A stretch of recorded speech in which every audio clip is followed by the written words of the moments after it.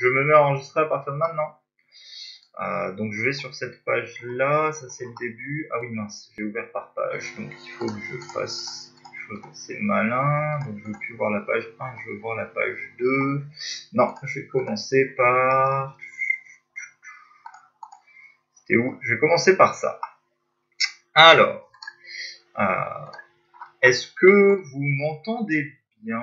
Euh, le nombre entouré en haut du DS, Léa, c'est le nombre de points. Oui, c'est le nombre de points euh, total euh, quand j'ai compté sur le DS. J'ai fait un barème, comme un vrai comme un DS classique de maths, enfin pas les, pas les miens. Mais euh, en gros, j'ai fait un barème sur parce qu'en fait, je pouvais pas changer de page tout le temps entre la page où je corrige votre PDF qui me prend déjà tout mon écran et le tableau, c'était ingérable. Du coup, j'ai fait un barème papier et j'ai mon barème papier qui est figé et je mets des bouts de points en fonction de si les questions sont bien traitées, partiellement traitées, etc. C'est beaucoup plus approximatif que ce que je fais d'habitude, euh, mais ça donne normalement le total du nombre de points que j'ai mis sur la copie par rapport au barème que j'avais fait initialement. C'est sur combien? Euh, Je pourrais vous scanner à la fin mon total de points pour le DS1, euh, vu que maintenant j'ai quasiment traité toutes les questions. Euh, le DS2, j'attends d'avoir plus de copies parce que j'ai mis des points qu'aux questions que j'ai corrigées pour le moment. Euh, donc ça dépend de ça, mais je pourrais à la fin euh, vous mettre en lien sur Cozy euh, un scan de mon juste mes annotations de points côté de chaque question. J'ai même pas fait le total, le total total en fait. Donc voilà pour ça. Alors, je vais commencer, je vais parler du DM8 vu qu'il n'y a pas de questions. Je vais commencer par parler de l'exercice 2 cet exercice 2, il y a des choses tellement fondamentales dedans. C'est vraiment, si je devais euh, qualifier mon exercice préféré d'intégrale impropre, euh, sur lequel il faut maîtriser, savoir faire de A à Z, euh, c'est celui-là. Il, il y, a, vraiment quasiment tout dedans. chaque question a sa richesse et son importance et son idée. Il n'est pas simple du tout ce sujet. C'était le sujet, même si la plupart le savent, c'est le sujet, donc c'est l'exercice de l'EM Lyon, euh, le, deuxième problème, les parties 1 et 2 sur 3, un truc comme ça. Donc il faudrait savoir le faire en à peu près deux heures, un peu moins de deux heures. Euh, si vous le faites en un peu moins de deux heures, vous allez cartonner à avoir 20 sur 20. Mais euh, voilà, c'est mon but pour vous. Il y a beaucoup beaucoup de choses à dire dessus. Il y a eu pas mal d'erreurs pour ceux qui l'ont fait sérieusement et des choses qu'il faut comprendre. Notamment, et c'est ce que je voulais vous faire partager avec euh, l'exercice euh, euh, quand je vous ai parlé la semaine dernière du, de l'exercice du DM7 et du premier sujet, le sujet plutôt type HEC et SEC, où j'ai dit il est très intéressant ce sujet parce qu'il est bourré de, de, de paramètres et qu'il faut faire gaffe aux paramètres, c'est la même chose ici. Euh, donc on est page 5. Euh, pourquoi? Dès la première question, il y a une richesse déjà dans cette définition-là qui est ici. On vous définit une fonction h de x, on vous dit qu'on veut la définir sur un intervalle i qui est 1 demi plus l'infini, et cette fonction h de x est définie par une intégrale qui est une intégrale en dt, euh, qui va de 0 à plus l'infini. Il y a plein plein de choses à dire pour pouvoir justifier que la fonction h est définie sur i. Il y a eu énormément d'erreurs dans cette question. Beaucoup m'ont juste dit la fonction qui est là en dessous est continue, donc la fonction est bien définie. Euh, il y en a d'autres qui m'ont parlé de la fonction qui à t donne 1 sur 1 plus t carré puissance x, qui est très très bien, et qui m'ont dit qu'elle était continue sur 1 demi plus l'infini. Donc il y a énormément d'erreurs sur lesquelles il faut faire très attention sur cette question. Elle est d'une simple, elle est vraiment simple, si on fait les choses proprement. La première chose, ne dites pas n'importe quoi quand vous avez un premier argument valide. Euh, beaucoup d'entre vous m'ont dit que cette fonction-là, alors attention, faites bien attention à ce que vous écrivez, vous me l'avez très bien écrit pour la plupart, mais faites attention, cette fonction-là, c'est la fonction de t. Donc si c'est une fonction de t, x est fixe. Et donc vous m'avez dit que pour tout x, cette fonction est continue sur R, parce que ce dénominateur ne s'annule jamais. Je suis 100% d'accord avec vous.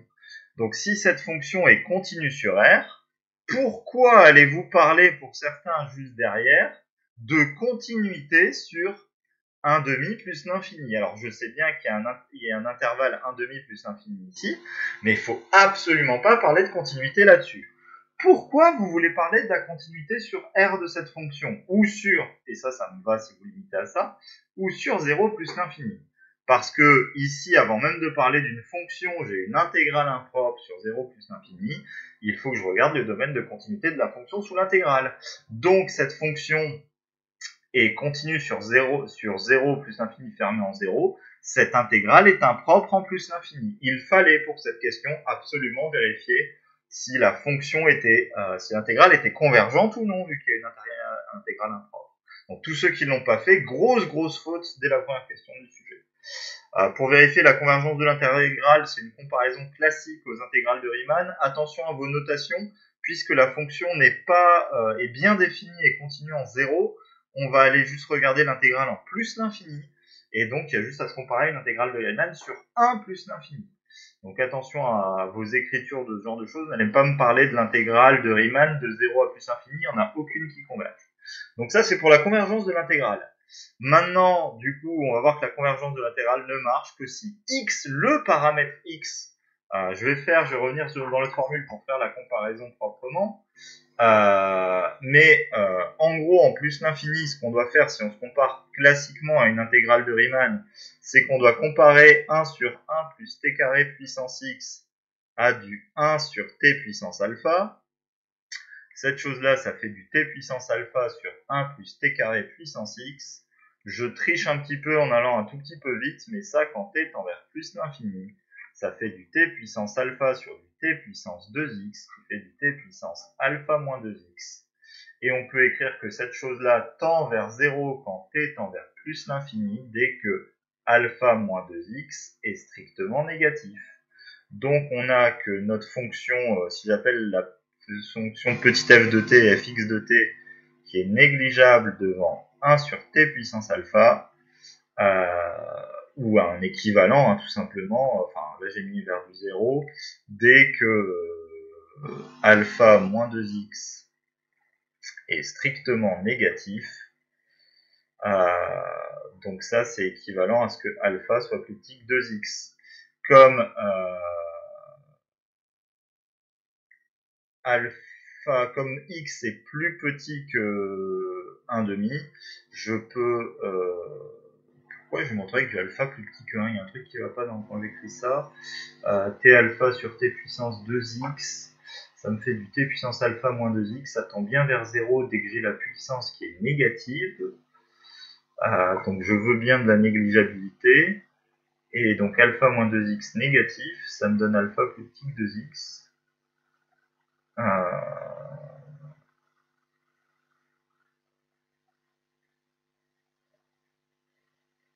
donc dès que je prends alpha plus petit que 2x, ça marche. Euh, ok, donc oui, c'est juste le, reste du critère. Euh, donc maintenant, en gros, ce qui se passe, c'est que je sais que moi, les intégrales de Riemann, donc si je prends mon cours, si je fais les intégrales de Riemann, je sais que ça converge dès que alpha est plus grand que 1 strictement. Donc j'ai mon alpha qui est là, et maintenant moi je sais que je peux me comparer à ce qu'il faut dès que alpha est plus petit que 2x. Donc si je peux placer, il y a une autre euh, course qui est ici, qui est liée euh, la condition alpha moins 2x. Oula, ça, ça rame, excusez-moi, ça bloque. Alpha moins 2x, euh, si je sais que ça, ça, ça, je vais avoir mon petit taux comme il faut dès que alpha est plus petit que 2x. Donc par exemple si je mets 2x ici, et la seule chose qui me reste à faire, c'est de savoir comment je peux placer ça par rapport à l'un par rapport à l'autre. Mince, ah, j'ai effacé. Ah, je voulais changer de couleur, excusez-moi. Donc je refais mes deux graphes. Il y a un 2x qui traîne quelque part comme barrière pour mon alpha. Euh, j'ai un, euh, j'ai la barrière à 1 vis-à-vis de la convergence de Riemann. La seule question qui me reste, c'est comment je peux placer ça. Et puisque x est plus grand que 1 2x est plus grand que 1, ce qui fait qu'en fait, cette barrière-là, elle est de ce côté-ci, et donc j'ai bien tout le temps la convergence. C'est-à-dire que je peux prendre un alpha qui est entre euh, 1 et 2x, je peux en trouver un, et donc j'ai bien euh, ma euh, série qui est négligeable devant une, intégrale de Riemann. Euh, pas besoin de se compliquer la vie, on avait aussi un équivalent hein, sur 2, t puissance 2x, mais c'était juste pour dire qu'il ne faut pas confondre l'intervalle en t et l'intervalle en x. Euh, on fait un intervalle en t, et donc on a un équivalent plus l'infini, Et maintenant, c'est le paramètre x qui dit que, euh, en gros, 2x est plus grand que, dès qu'on a x plus grand que 1,5, on a bien du 2x plus grand que 1 et qu'on a bien la convergence qu'on veut. Et c'est ça qui nous fixe notre intervalle i, qui est l'intervalle 1,5 plus l'infini. Euh, donc, il fallait bien comprendre ce sujet et pas faire de bêtises dès le départ. Je vais avancer sur la suite. Il y a d'autres arguments techniques qui vous manquaient et qui sont importants. Euh, donc, partager l'application. Je reviens vers... Euh, quand on veut montrer qu'une intégrale est définie sur un intervalle i, on doit montrer, ça, ça a disparu, il faut que je revienne là. Alors, il faut d'abord que je partage apparemment. Je reviens sur ça. Je reviens sur la page où Sacha a détaillé on doit d'abord montrer qu'elle est continue sur i pour montrer que par exemple elle est continue sur r et par conséquent sur i. Bon, vous pouvez vous limiter à i, hein, mais là, fallait bien comprendre que i c'était 0 plus l'infini. Tous ceux qui m'ont parlé, je sais plus ta copie, Sacha, hein, mais euh, tous ceux qui m'ont parlé de 1 demi plus euh, de 1 demi plus l'infini, ça n'avait aucun sens. Là, l'intégrale, l'intervalle, c'était 0 plus l'infini. Donc il faut parler de la continuité sur 0 plus l'infini. Et ici, inclus en 0, si on ne veut pas parler d'intégrale impropre en 0. Cette intégrale n'est que un propre en plus infini. Ah, voilà. Donc je repars sur l'autre euh, question pour, pour avancer un petit peu. Là, dès la question 2, il y avait aussi euh, des choses qui n'ont pas été. La question 2, alors euh, c'est une fonction définie par une intégrale, c'est pas une intégrale de ses bornes, on avait fait un exercice. Je vous renvoie aux vidéos de l'exercice 7 du chapitre 13 si vous voulez refaire un truc similaire à cette décroissance. par contre, pour cette décroissance, je suis d'accord qu'on part de x plus petit que y, mais tous ceux qui m'ont dit 1 euh, plus t carré plus petit que x, c'est 1 plus t carré plus petit que y sans trop détailler, bah moi je suis désolé, il me manque un intermédiaire, tout simplement parce que si vous faites la fonction u puissance x par rapport à la fonction u puissance y, mince je suis bas, et du coup vous voyez plus ce que je fais, si ça passe. Ah oui, comme j'ai pas zoomé ma fenêtre, ça marche très bien ici. Euh, si vous faites la fonction u puissance x par rapport à la variable u et u puissance y, euh, si y est plus grand que x, attention, euh, y croît plus vite que x, mais si x croît plus lentement, euh, x est au-dessus sur l'intervalle 0,1. ce graphe-là, je vous l'ai déjà répété plein, plein, plein, plein de fois. Donc, on ne peut pas directement déduire que 1 plus t carré est plus petit que, est plus petit que 1, enfin, puissance x est plus petit que 1 plus t carré puissance y si vous ne me donnez pas un argument sur la position de 1 plus t carré. Et tous ceux qui m'ont dit 1 plus t carré positif, ça ne marche pas. L'argument, c'est euh, 1 plus t carré ou positif ou nul, c'est 1 plus t carré plus grand que 1. Dans ce cas-là, on est bien dans cette zone-là du graphe et ça marche bien. Alors c'est 1 plus t carré plus grand que 1 ou ceux qui sont revenus au ln, euh, à l'exponentielle de ln, c'est tout simplement aussi du, le fait que ln de 1 plus t carré est positif parce qu'on est sur un ln plus grand que 1. Mais il fallait un argument pour cette deuxième question. Deuxième question qui a souvent été mal traitée parce qu'il manquait un argument. La troisième question, le calcul de H1 globalement bien fait, il faut connaître votre fonction tangente. La 3B, euh, plutôt bien fait. Euh, par contre, très attention à tous ceux qui ont fait une IPP sur des bornes infinies, ça ne se fait pas. Il faut revenir aux bornes finies et refaire retendre. Et tous ceux qui n'ont pas réussi à conclure la question, c'est en général parce que vous n'avez pas écrit que les deux intégrales qui étaient là, ben, on peut les rejoindre en une seule intégrale et les mettre au même dénominateur. C'est-à-dire que vous partez d'un membre A qui est correct, vous faites une IPP correcte, mais vous arrivez à un membre C, vous n'arrivez pas à B, et vous oubliez de repartir de B vers C. Et ça, c'est une erreur qui est, souvent vue. Euh, le programme informatique, euh, ça, je veux juste revenir là-dessus sur l'autre fenêtre. Alors, hop, je repars par ici. Euh, pas grand chose à dire sur ce programme informatique, pas trop dur, assez classique. La seule chose, c'est que tous ceux qui ont voulu faire quelque chose à partir de la relation, je vais écrire ça comme une suite pour qu'on voit mieux les choses, à partir de la relation h2n égale 2n euh, euh, enfin c'est hn égale 2n hn moins hn plus 1, vous ne pouvez rien faire de cette, équation-là. Je l'ai mis dans toutes les copies qui ont mal géré ça. Il fallait repartir de l'équation résolue en hn plus 1. C'est-à-dire que de ça, on écrit euh, hn moins 2n hn égale moins 2n hn plus 1. On divise par moins 2n et ça, ça donne du hn plus 1 qui est égal à hn moins 2n hn sur 2n moins 2n. Et là, au moins, la relation est résolue en hn plus 1. à partir de ça, ce n'est qu'une relation de suite. Alors ça fait du hn plus 1, qui fait, si je simplifie, ça fait du euh, hn facteur de 1 moins 1 sur 2n, quelque chose comme ça. Et donc ceci est une suite euh, récurrente, non autonome. On sait programmer euh, ce terme-là. Donc attention à ce petit détail-là qui vous a posé euh, problème.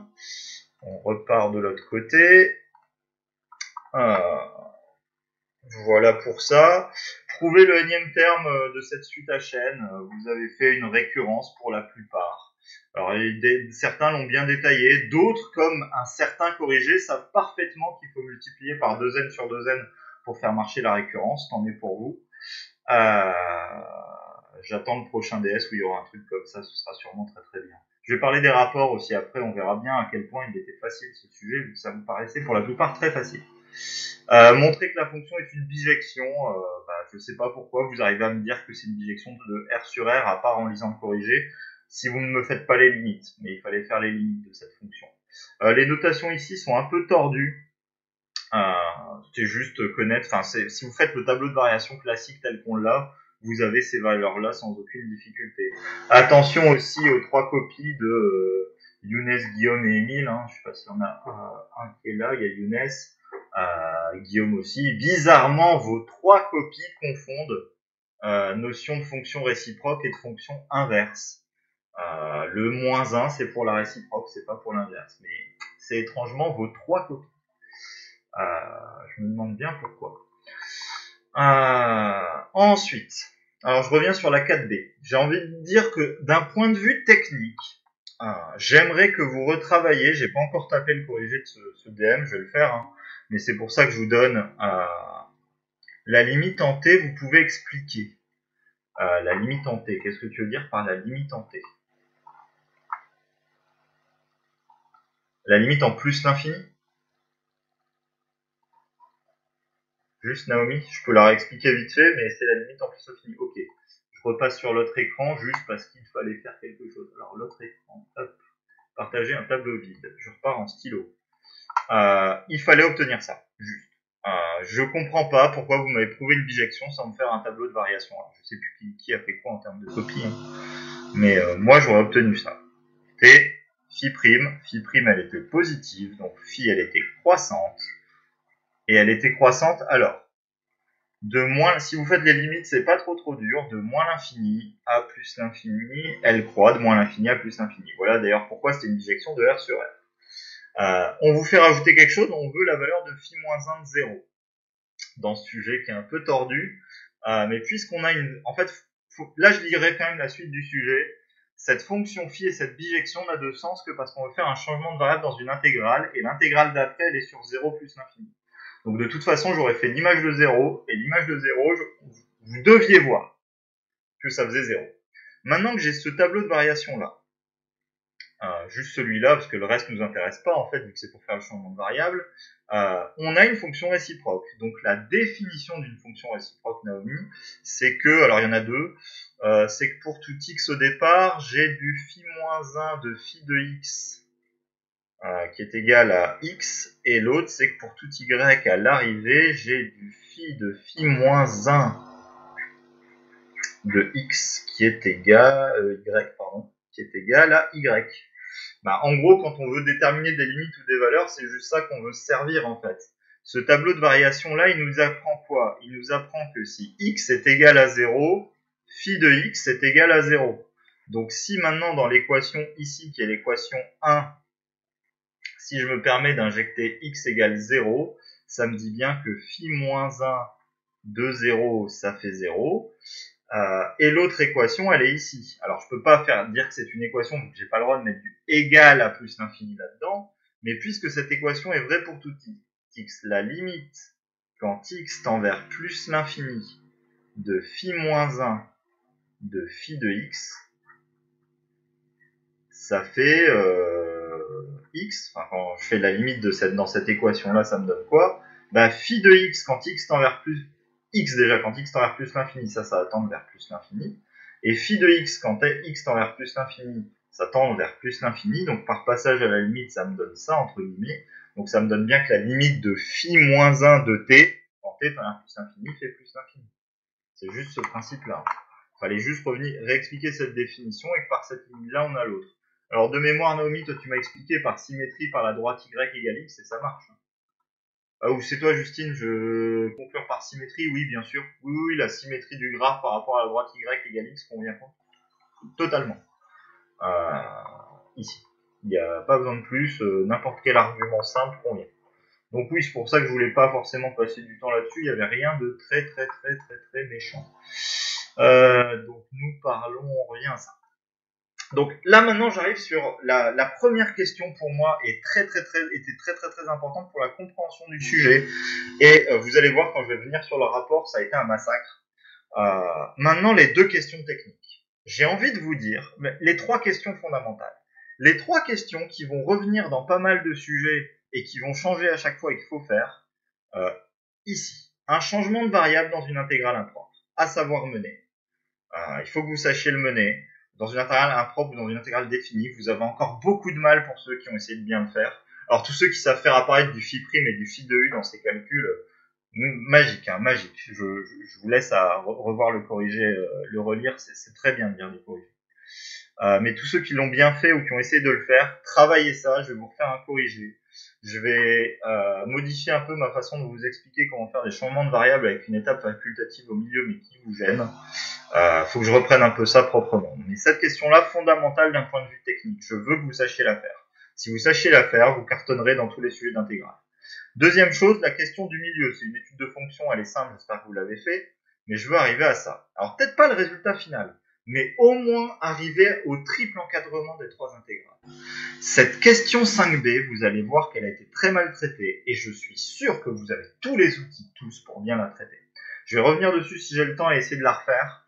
Euh, peut-être pas l'inégalité finale, mais arriver à autre chose avant. Euh, vous êtes tous capables de le faire et je veux que vous sachiez le faire. Et c'est des vraies compétences très importantes. Ça, c'est des questions d'analyse plus ou moins simples. Faut revenir dessus, faut, faut les travailler. Euh, la question 7b, merci à tous ceux qui ont lu le corrigé et qu'il fallait utiliser une loi normale euh, de paramètres 1 sur x. Sinon, ceux qui ont bossé leur cours, euh, j'ai fait une question de cours qui ressemble exactement à ça. Et ça, il faut savoir le faire. Ce genre de questions, dans plein de sujets, ça va revenir. Et plutôt que d'apprendre des, des, des trucs vaseux sur les lois normales, vous connaissez qu'une seule valeur d'intégrale, l'exponentielle de moins t carré sur 2. Euh, c'est une intégrale euh, qui vaut euh, du racine de pi sur 2 par parité de la loi normale. Je sais qu'on n'a pas encore vu les lois normales, mais si vous admettez juste ce résultat-là, vous devez être capable de calculer ces intégrales. Ensuite, tout le reste, c'est des variantes techniques du reste du sujet. Euh, ça m'intéresse un petit peu moins tout le reste. Euh, il n'y a pas de choses très très particulières. On peut revenir sur des choses.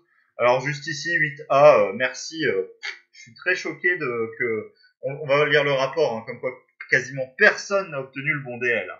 Mais manifestement, 90% de la classe est capable de mener un DL aussi compliqué à l'ordre 2 sans aucune difficulté. Donc merci encore pour cette belle lecture de, de corriger à la plupart. Ça vous enrichira grandement.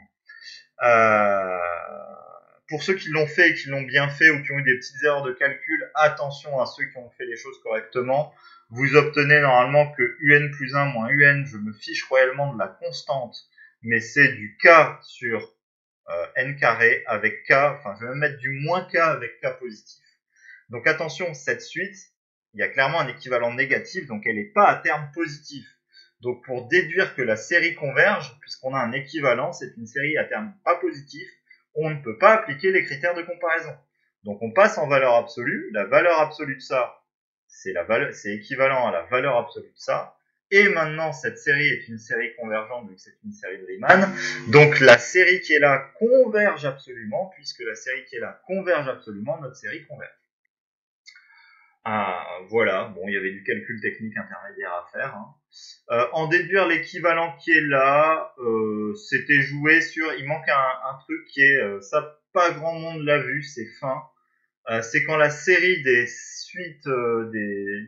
En fait, ça c'est la série des termes télescopiques converge. On a un point de cours qui dit que la suite UN converge. Et la suite UN converge, ça vous donne en gros que ça c'est équivalent à ce terme-là. Si on met, si on dit que UN tend vers L, en fait, la constante k qui est là, c'est du exponentiel de L en réutilisant cette égalité qui est là. Euh, c'est pas très très compliqué, mais c'était vraiment l'argument de cours. Si la série télescopique converge, la suite converge. Il faut avoir ça en tête. Dernier point, personne ne l'a traité, c'est un point technique. Euh, juste dans l'idée, je pense qu'on vous en voudra pas si vous dites que techniquement vous n'avez pas le temps de tout mener. Il y a deux gros arguments. Maintenant qu'on a un équivalent de Hn et qu'on vous demande un équivalent de h de x, la seule chose qui consiste à dire c'est bah, il suffit d'encadrer un réel par des entiers. Comment on encadre un réel par des entiers? Bah, Il suffit d'écrire que ça c'est plus petit que ça, euh, partie entière de x plus 1, et ensuite de dire que h est décroissante. Donc h de partie entière de x, ça fait plus petit que h de x, plus petit que ça. Et là, il faudrait encore travailler techniquement sur les équivalents pour obtenir euh, un équivalent euh, de h de x. Euh, mais moralement, puisque chacune des quantités c'est équivalent à du k sur partie entière de racine, enfin, sur du racine de partie entière de x, on peut montrer que h de x sur x sur racine de x ça converge vers 1. enfin sur k sur racine de x ça converge vers 1. Euh, c'est pas très très compliqué, pas très très lourd, mais c'est long techniquement. Je pense que si vous donnez ces arguments-là et que vous dites je n'ai pas le temps, j'admets, euh, pensez à donner des bouts d'arguments, même si cette question est très longue et très technique. Elle fera plus d'une demi-page, voire quasiment une page dans mon corrigé. Euh, mais juste ces deux arguments-là sont deux arguments très forts qui prennent deux lignes et qui vous donnent les trois quarts du, résultat. Donc n'hésitez pas à le dire si vous y avez pensé. Euh, voilà pour ce sujet. Je voulais parler de ces questions-là fondamentales. Je vais revenir sur la 5B. Euh, vite fait. On passera à l'autre sujet. Alors, je revienne là. Euh, hop, je reviens en crayon. on vous fait prouver une première inégalité qui est du exponentiel. Alors mince, je l'ai plus l'inégalité. Donc il faut que je revienne là 10 secondes. C'était Exponentiel U plus petit que ça, plus petit que ça. Ok. Ah, exponentiel U plus petit que exponentiel U plus exponentiel de moins U plus petit que 2 exponentiel U. Ah, et on veut obtenir quelque chose sur intégrale. Ah, Zoubir, je vois... J'ai passé des questions, c'est ça Zoubir, tu veux lever la main?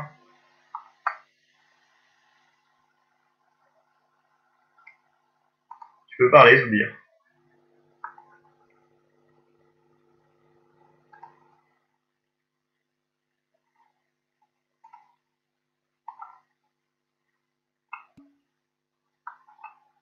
Euh, ok, Zoubir, tu t'es trompé. Et euh, Justine, à 14h29, tu dis Je ne comprends pas cet argument. Quel argument? Vu que j'étais sur l'autre fenêtre, je ne voyais pas ce que tu tapais en fait. Justine, vas-y. Euh, bah, tout le truc avec on encadre par la. Attends, j'ai pas le son assez fort, je monte le son, excuse-moi, est-ce que tu peux reprendre? Euh, Quand on encadre un réel par deux entiers naturels et qu'après, enfin, j'ai pas compris comment conclure. Ah, ok.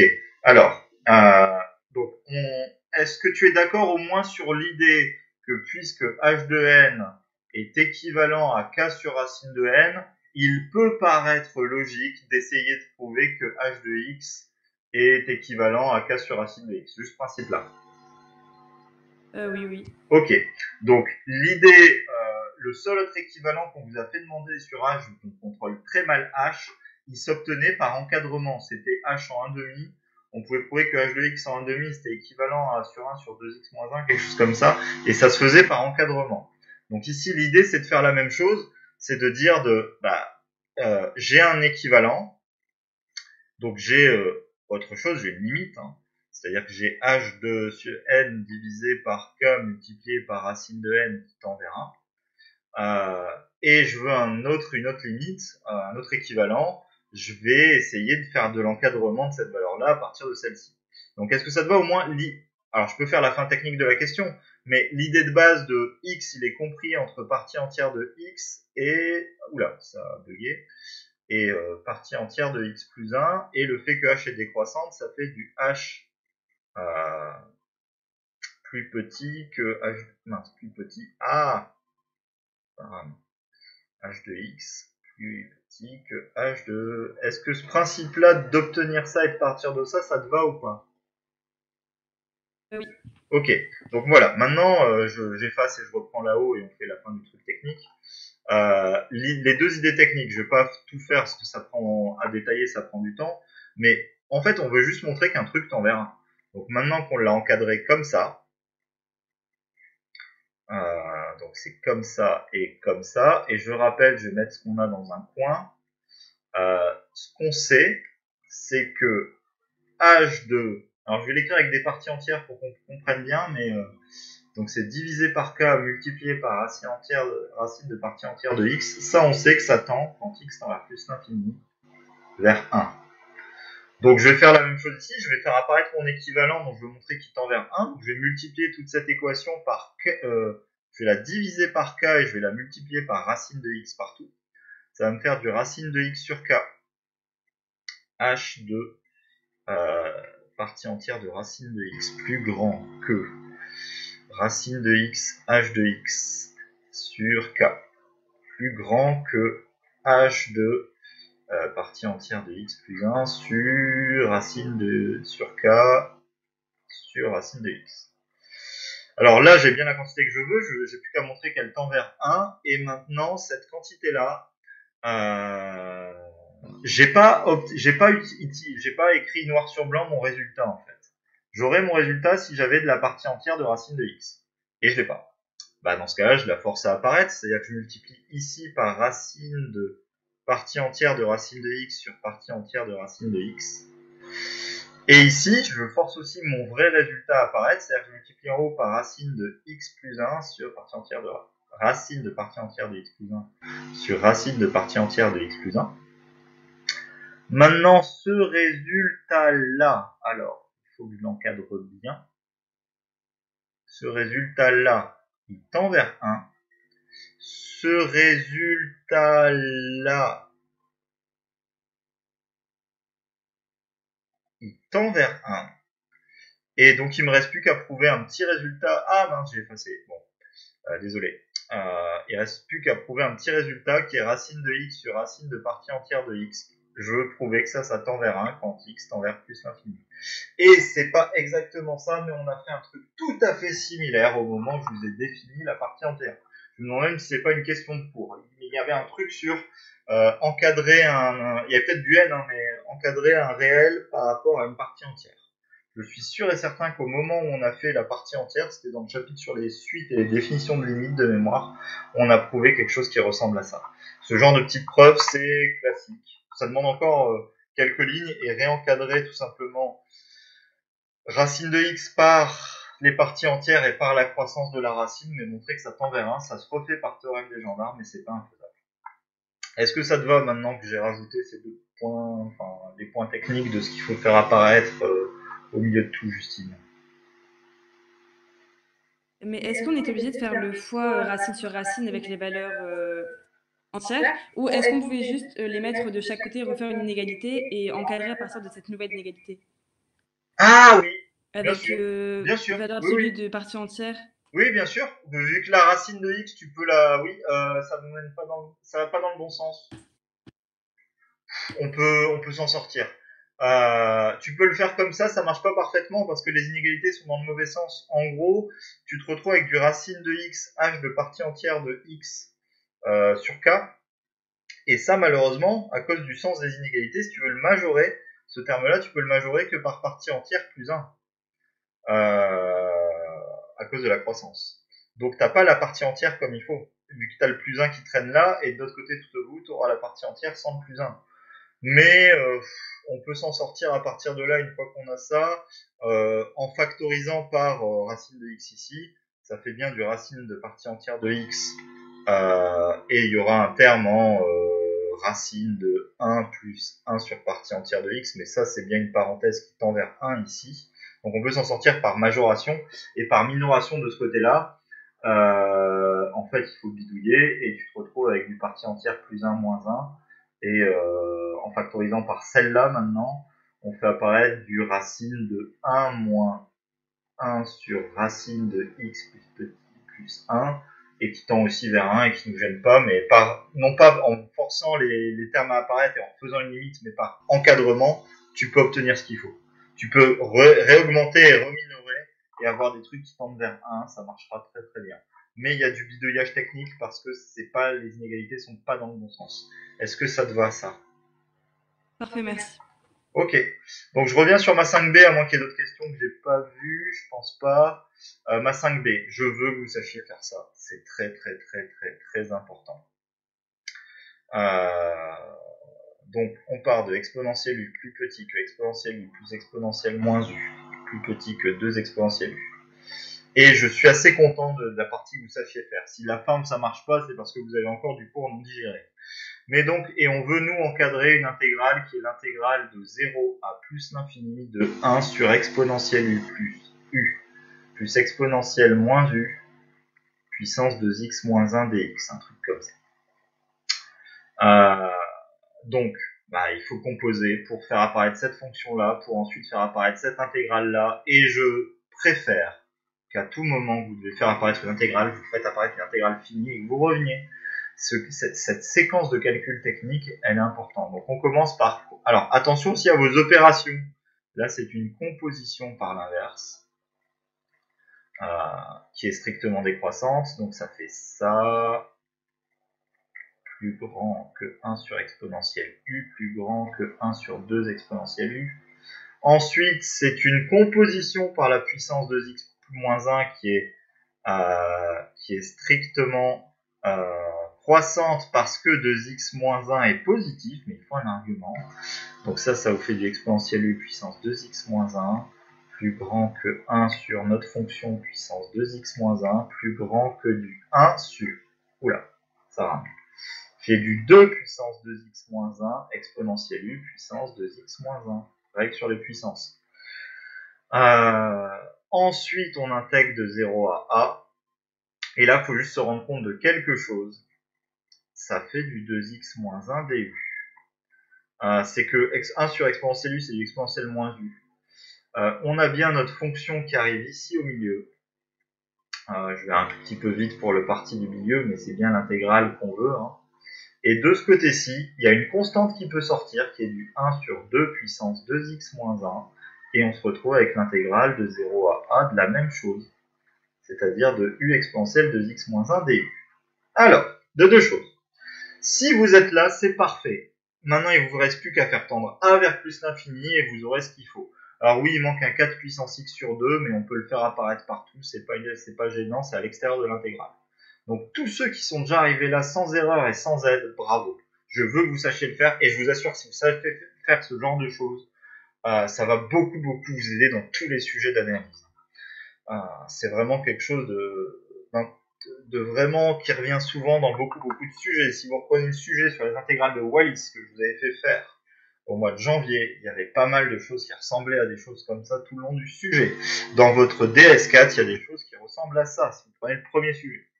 Deuxième sujet, il n'y a pas de truc qui ressemble à ça, mais il y a des choses qui ressemblent à ça quand on fait des sommes et pas des intégrales. Euh, juste une chose pour ceux qui sont soit passés directement aux intégrales infinies, soit euh, ceux qui veulent passer derrière aux intégrales infinies. déjà, si vous mettez un plus l'infini ici directement, vous n'avez pas le droit de continuer vos calculs si vous ne parlez pas de la convergence des intégrales que vous écrivez. Et la convergence des intégrales que vous écrivez ou ceux qui font la limite derrière, alors bien sûr vous pouvez primitiver ça, vous devez savoir le primitiver, ça ça se primitive en exponentielle moins u de x moins 1, oula ça rame, euh, sur 2x moins 1, euh, moins 2x moins 1, pardon, ça se primitive comme ça. Mais, et là, c'est vraiment pour vous gagner en efficacité. Euh, je veux que vous sachiez un truc. Alors, ceux qui ont été lire le corrigé, qui est un argument de loi exponentielle, bravo, hein, belle recopie. Euh, mais dans le poly d'intégrale improbe, je vous ai dit qu'il y avait une intégrale de référence à maîtriser. L'intégrale de 0 à plus l'infini d'exponentielle moins alpha x sur x fois x dx, quand alpha est positif, on doit savoir que ça fait bien sur alpha. Ça viendra de la densité d'une loi exponentielle, quand on aura du cours là-dessus, mais euh, gagnez du temps, apprenez cette valeur d'intégrale. Dans ce cas-là, ici, la seule chose qui change, c'est que le alpha devient le 2x moins 1. Et si on revient dans le sujet, euh, si je vous montre l'image du sujet, donc le alpha c'est du 2x moins 1, donc comme l'intégrale vaut 1 sur alpha, il y a du 1 sur 2x moins 1, si je fais partager le sujet, vous voyez bien que euh, les intégrales ici, il y a du 2x moins 1 ici, du 1 et du 1 sur 2x moins 1 ici. Donc tous ceux qui ont été jusque-là parfaitement et qui m'ont dit mais monsieur, je ne sais pas calculer cette intégrale, c'est parce que vous n'avez juste pas encore digéré les intégrales impropres de référence. Mais il faut les digérer, ça vous fera finir les calculs. Si le reste vous savez le mener, je vous assure que c'est déjà pas mal. Lisons le, le rapport pour s'en rendre compte. Alors, partager application écran. Donc, j'arrête d'abord le partage, puis euh, ah je peux faire que mince ah bon bah je dois partager l'écran brutalement de je l'ai fait dans un autre navigateur donc je dois partager l'écran brutalement ah, vous voyez quand même à peu près bien euh, ce rapport vous pouvez le trouver sur le site euh, du concours de la BCE hein. j'ai pas été le chercher très très loin alors je suis en termes de fenêtre. Ah, si je vous montre ceci, euh, j'ai juste été dans euh, BCE, les annales, j'ai cherché options scientifiques, épreuves mathématiques, type de document, rapport, et il y a des millions de rapports, enfin pas sur toutes les sur toutes les épreuves, mais au moins vous avez celle-ci. Alors ça c'est pour le 2017. L'autre sujet, l'autre exo, c'était euh, celui de 2016. Et celui de 2016, le rapport n'est déjà plus disponible. Il faut aller sur un site c'est un site d'un professeur qui met beaucoup de corrigés à disposition. Hein, vous le connaissez bien, site à mon avis. euh, il met aussi les rapports à disposition. Euh, regardez quand même ça. Hein, il y a eu beaucoup d'entre vous. J'ai parlé de la première question où beaucoup d'entre vous ne m'ont même pas prouvé la convergence de l'intégrale impropre. Euh, là, ils parlent eux d'oubli de continuité. Vous, vous oubliez la, la convergence. Je trouve ça fort quelques candidats confondent les rôles de X et T. Alors là, par contre, je vais pas mentir avec vous. Quelques candidats confondent les rôles. Non, non, pas quelques candidats. Je pense que vraiment, euh, on va être à plus de 50% des candidats qui vont confondre les, règles de X et T ici. Trop de candidats qu'on confondent de fonction d'une variable des suites réelles. Certains ont, comparé h de x plus 1 moins h de x au lieu de faire du h de y moins h de x ou du h de y plus petit que h de x. Attention à ce genre de choses. Euh, il rappelle bien ici qu'il faut faire une intégration par partie sur un segment 0A, puis faire tendre A vers plus l'infini. Euh, donc attention à ça. Euh, ensuite, il parle de la confusion fonction réciproque, fonction inverse, donc faites attention à ça. 4b, cette question n'est traitée correctement que dans une minorité de copies, ce qui montre bien que faire un changement de variable dans une intégrale, c'est pas quelque chose de facile. C'est pour ça que vous allez briller si vous savez le faire correctement. Euh, prenez le temps, c'est le genre de compétence qui revient dans tous les sujets et ça va vous faire prendre beaucoup de points. Euh, on vous dit que cas A est très facile à traiter dans quasiment toutes les copies, très bien. Euh, 5b, le résultat de la question précédente, mais le résultat final des intégrales d'exponentielle n'est souvent pas fait ou n'est pas correct. C'est pour ça que je vous dis que bien mener ça, euh, c'est bien fait. Alors, mener des calculs compliqués, quand on voit qu'ils disent que derrière, il y a des confusions de limites entre 2x 1 et 1 sur 2x 1, ça montre bien qu'il y a des choses compliquées. Euh, voilà, c'est ce que je vous ai reproché aussi dans ça ou dans votre concours blanc. Beaucoup de blabla et d'erreurs sur ln de u, euh, 1 plus u carré plus, plus grand que euh, u sur 2. Euh, il est marqué beaucoup de blabla ou d'erreurs, invoquant une convexité, des développements limités ou même tout simplement de la croissance comparée. Non, il faut étudier une fonction pour établir des inégalités de fonction. Euh, même la convexité ici, en fait, la convexité, ça vous donne du ln de 1 plus u plus grand que u. Ou alors il faut établir, on peut peut-être le prouver, mais en établissant de la convexité ou de la concavité de la fonction ln de 1 plus u carré, ce qui n'est pas du cours, et donc il faut établir la convexité de cette fonction, ce qui est plus long que euh, étudier la fonction qu'il fallait faire. Euh, j'arrive sur 8A. Hein. Très question souvent abordée, mais le développement limité n'est pas poussé assez loin. C'est quand même bizarre que 90% de la classe arrive à obtenir du moins 3 sur n carré quand euh, les trois quarts ne poussent pas le DL assez loin. Bon, euh, sans un corrigé, c'est une question qui est un peu plus dure, hein, la 8A. Donc tous ceux qui ont su la mener sans corriger, bravo. C'est une question pas facile encore. Euh, voilà. Euh, voilà, vous pouvez trouver ce rapport. Donc euh, voilà pour cet exercice. Euh, pour moi, je vous le redis, c'est vraiment un exercice fondamental d'intégrale impropre. Il faut savoir le mener. Et si vous savez bien le mener cet exercice, je pense qu'il n'y aura pas beaucoup de choses qui vont vous faire peur sur ces sujets-là. Il y a vraiment, il est très riche sur plein de domaines. voilà. L'autre sujet. Je vais remonter, je vais changer donc de partage. Il faut que je partage cet écran-là et que je remonte dans les pages, donc ça va être page 2. Euh, voilà, ce sujet-là. Euh, ce sujet-là, je vais en parler un peu moins longtemps, parce que c'est là où vous avez plus aussi retomber le corriger qui était un peu bête parfois. Euh, cette première question du sujet, mince, j'ai changé de page, excusez-moi. Cette première question du sujet est le genre de raison pour lequel je vous fais vérifier qu'une série diverge grossièrement. Alors quand on va le corriger, c'est facile de voir, mais pour tous les autres, euh, il faut, euh, faut parler de la divergence grossière. Et attention à ce que vous faites, euh, parce que vous ne pouvez pas juste parler, enfin il faut parler de ce qui se passe en valeur absolue,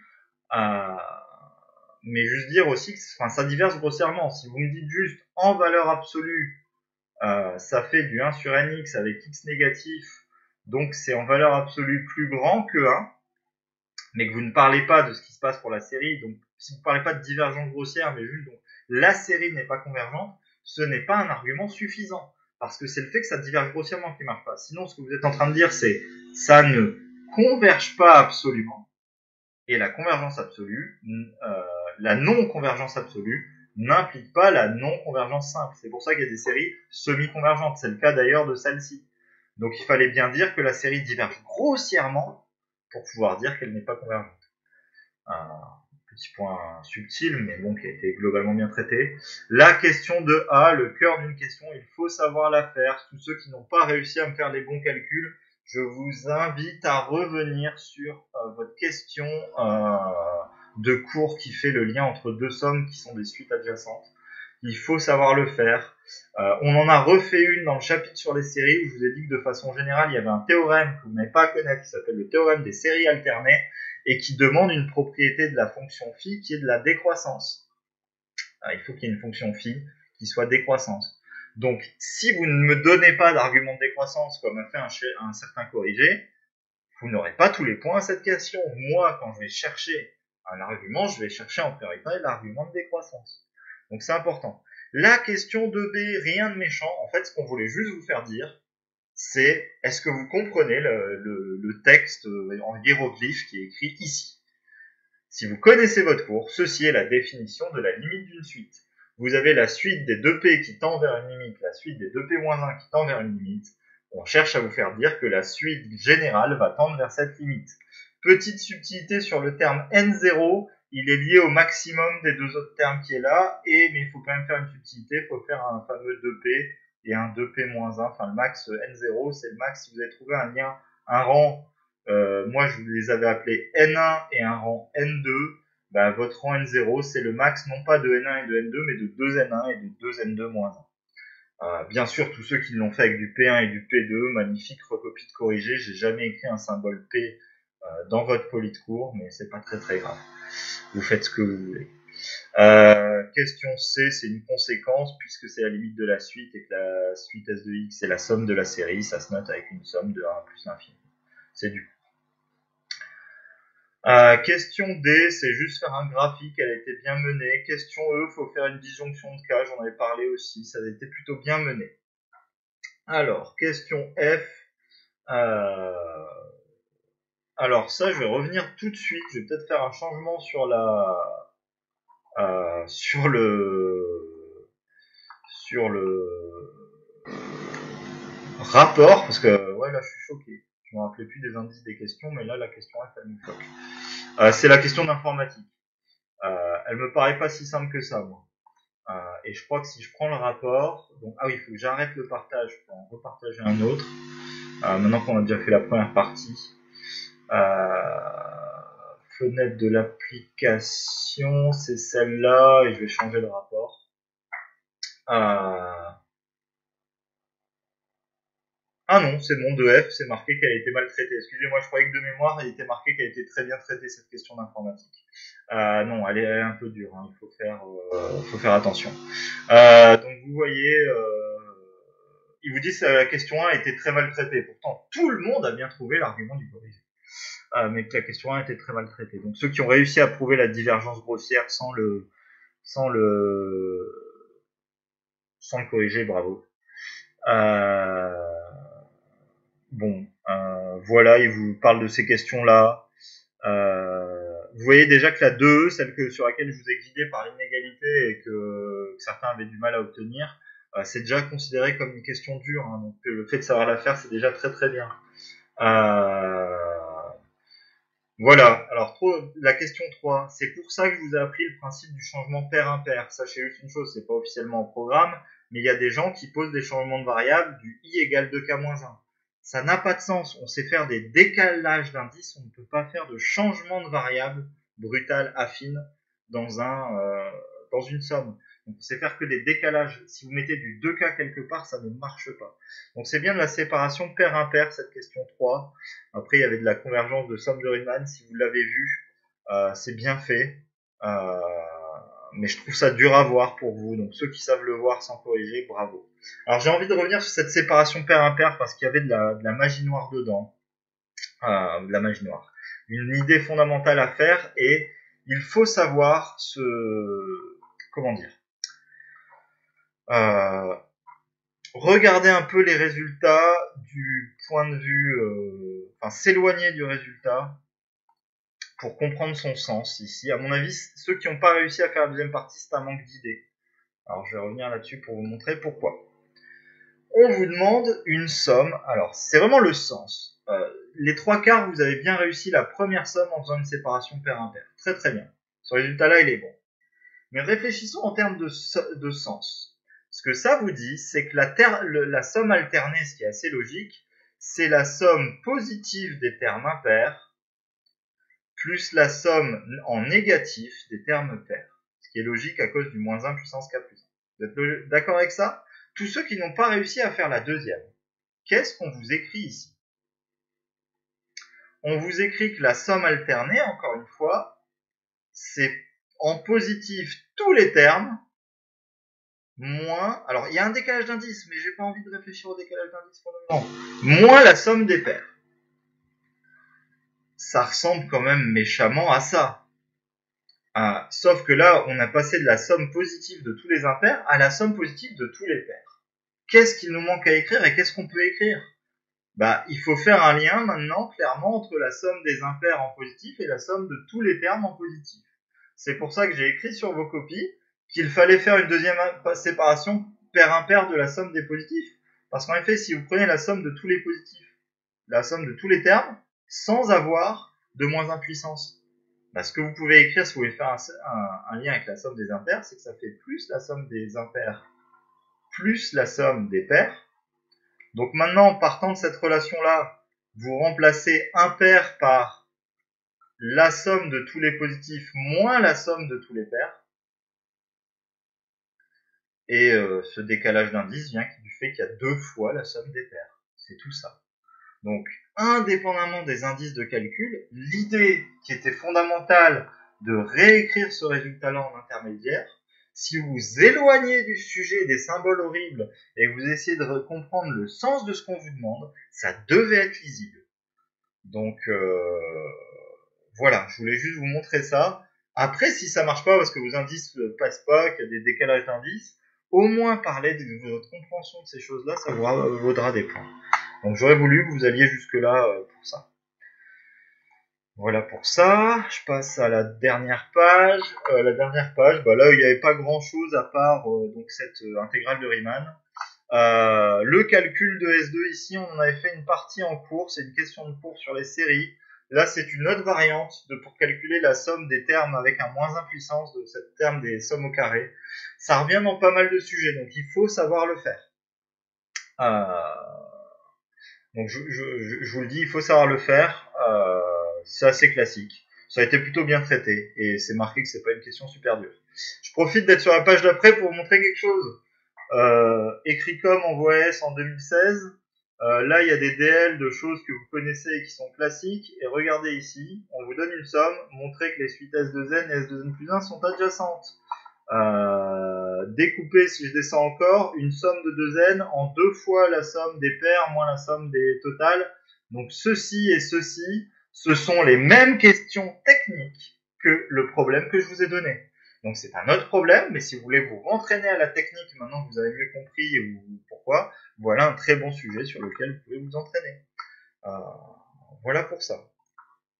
Alors je reviens dans ma fenêtre globale. Est-ce que j'ai des questions sur ce premier euh, problème? Euh, Il est moins intéressant, il était intéressant uniquement à cause du paramétrage X. C'était encore une fois pour vous donner plutôt un sujet à paramètre, ce qui vous force, vous, à faire attention. Qu'est-ce qui varie? Est-ce que c'est n? Est-ce que c'est x? Voilà, c'est juste ça. Est-ce que ça va pour ce premier exemple Est-ce qu'il y a d'autres questions euh, quelconques sur ce genre de choses? Manon, vas-y. Moi, j'avais, j'ai juste pas compris la subtilité. Euh, pourquoi il faut dire qu'elle diverge grossièrement? Le, le, fait qu'elle diverge grossièrement, en fait, pour qu'une somme. Alors, hop, je reprends en écriture. Pour qu'une somme des UK euh, est une valeur finie, donc on voudrait que la somme pour n égale 1 plus l'infini des UK, ça fasse un nombre grand L, par exemple, il est évident, on n'a pas le choix, il faut que ce terme-là, euh, j'ai mis un n et j'ai mis un UK, donc c'est un, euh, il faut absolument que un tende vers 0. Si un ne tend pas vers 0, tout simplement, s'il n'a pas de limite ou s'il ne tend pas vers 0, cette somme-là peut pas avoir de limite. Tout simplement parce que euh, juste par passage aux, sommes, euh, aux sommes partielles. Si je note Sn, c'est la somme, euh, S grand N, c'est la somme de petit n égale 1 à grand N des UK. S grand N plus 1, c'est Sn plus Un, en tout cas quand les séries sont à terme positif, plus U grand N. Si ce terme-là n'a pas de limite, si ce terme-là n'a aucune limite, ce terme-là n'a aucune chance d'avoir une limite derrière. Donc il faut n'a pas une limite qui tend vers 0. Donc il faut absolument que un tend vers 0. Or, dans la suite qu'on a là, on a du moins 1 sur n plus 1, n puissance x. Donc il y a deux cas. On vous dit que x appartient à R-. On va séparer deux cas parce qu'il y a vraiment deux comportements différents. Pourquoi? Parce que n puissance x, vous devez le savoir, n puissance x, ça se comporte de trois façons quand n tend vers plus l'infini. Ça tend vers plus l'infini, c'est x est strictement positif. Ça tend vers 1, si x est égal à 0, c'est tout le temps égal à 1, et ça tend vers 0 si x négatif. Donc à cause de ce principe-là, comme là on vous donne du n puissance x au dénominateur et que x appartient à R-, je vais séparer le cas de x positif et de x négatif. Euh, x égale 0. Donc si, si x est égal à 0, ce terme-là, ça fait du moins 1 puissance n plus 1. Moins 1 puissance n plus 1, ça alterne de valeur, ça n'a pas de limite, ça alterne entre moins 1 si c'est impair, euh, non, ça fait moins 1 si c'est pair, pardon. Et ça fait 1 si c'est impair. Donc ça n'a pas de limite, la série ne peut pas converger. Si maintenant x est strictement négatif, c'est encore pire, parce que n puissance x tend vers 0. Donc 1 sur n puissance x, ça tend vers plus l'infini. Et donc si je multiplie par moins 1 puissance moins 1, ça tend vers plus ou moins l'infini. Donc ce terme-là tend même pas vers 0, il tend vers plus ou moins l'infini à chaque terme. Donc, euh, ça n'a pas de limite, ça n'a pas une limite finie, ça ne tend pas vers 0. Euh, donc la série diverge grossièrement. Est-ce que ça te va ce principe-là ou non? J'ai raté euh, le point qui te gêne. Oui, c'est bon, parfait, merci. Ok.